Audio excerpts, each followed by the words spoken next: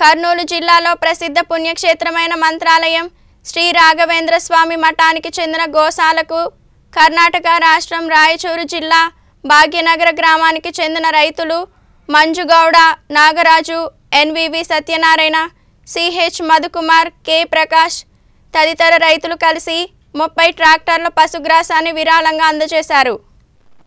అంతకు ముందు శ్రీమఠం పీఠాధిపతి సుబుధేంద్ర తీర్థుల ఆధ్వర్యంలో రాఘవేంద్ర స్వామి మఠం ముందు భాగాన ఉంచి పశుగ్రాసం ట్రాక్టర్లకు పూజలు చేసి జెండా ఊపి ప్రారంభించారు. ఈ సందర్భంగా పీఠాధిపతి మాట్లాడుతూ దేశానికి రైతే రాజు అని అన్నారు. మానవ దేహానికి వెన్నుముక లాంటి వారుగా గుర్తించాలన్నారు. రైతులకు మరియు వారి కుటుంబ సభ్యులకు రాఘవేంద్ర స్వామి ఆశీస్సులు ఉంటాయని ఆశీర్వదించారు.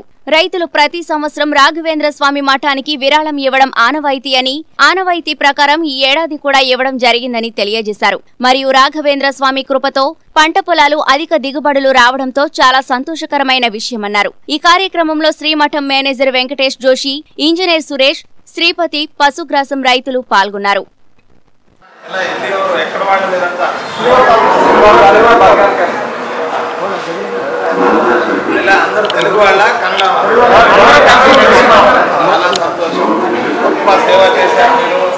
రైతులు దేశానికి వెన్నెముక.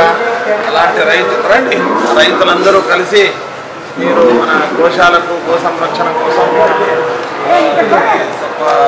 దానం చేస్తూ ఉండేది. ఎప్పుడూ తలుచుకుంటాం అందరికీ స్వామి దయ ఉందని బాగా పంటలు పంటలు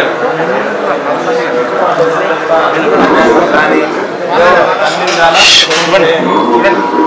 అంటే గోగ్రాసం అనేటువంటిది చాలా పుణ్యం గోవులు మన దేశం యొక్క అత్యంత పూజ్యమైనటువంటి వస్తువు.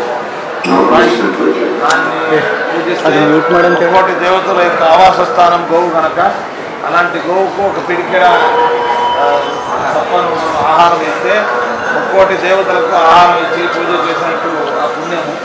మనమందరం హిందువులము మా గోమాతను ఆరాధించడము గోమాత యొక్క మహత్యాన్ని తెలుసుకోవడం అందరికీ తెలిసిన విషయం.